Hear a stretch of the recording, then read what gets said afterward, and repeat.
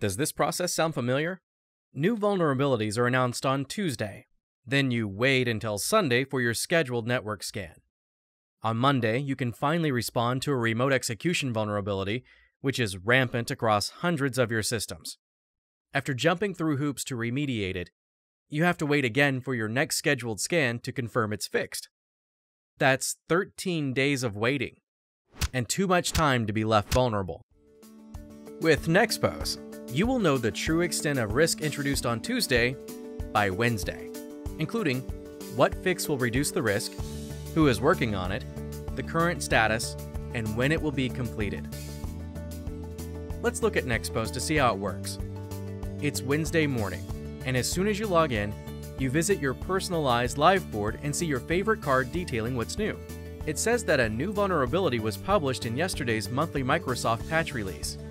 It turns out that this vulnerability allows remote code execution, and Nexpose tells you that it represents a greater risk to your network than any other single exposure. Now, you can immediately take action. Let's pivot your view of this vulnerability to show which assets in your organization are impacted.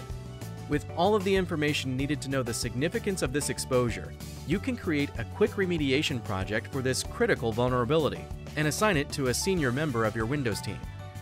To avoid injecting chaos into your IT organization, you can zoom out to a view of IT's full remediation workload and see what's currently in progress and what might need to shift. With confidence that this specific exposure will be remediated with urgency, you can turn your attention to the exposures you had identified prior to today. It shows here that your team is generally tracking according to plan, but you still haven't mitigated the risks from last month's Patch Tuesday.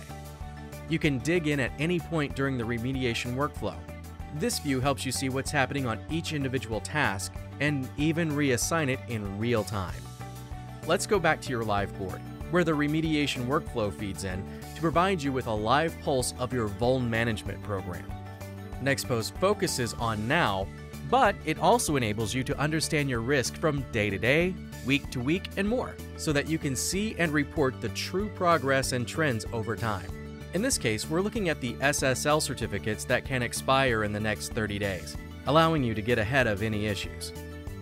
And with a simple click, you can see the risk comparison over time for an individual machine. Whether that moment of impact happens right now or tomorrow, Nexpose gives you the insight to reduce today's risks today. To learn more or to get a free trial, visit rapid7.com/nexpose.